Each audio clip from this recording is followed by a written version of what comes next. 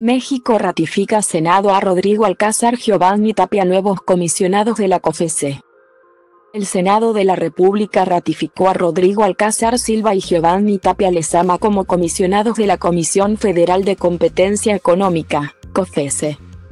Al cumplir los requisitos de idoneidad, Alcázar Silva logró 92 votos a favor y uno en contra, mientras que Tapia Lezama obtuvo 89 a favor uno en contra y otro en abstención, logrando la mayoría calificada de ley que avala las dos propuestas del Ejecutivo Federal y, con ello, se completan los siete integrantes de ese órgano de gobierno de la COFESE que trabajó con cuatro de los siete comisionados durante dos años.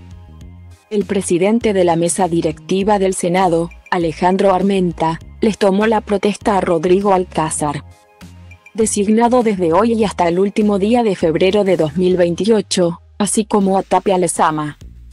Por nueve años, quienes se suman a Andrea Marván, quien fue ratificada por el Senado el pasado 13 de diciembre como presidenta del organismo.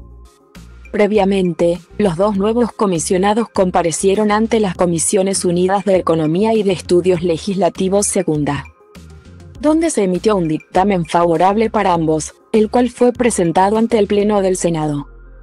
Por Capital México Autor, Rubén Arismendi Fecha de publicación.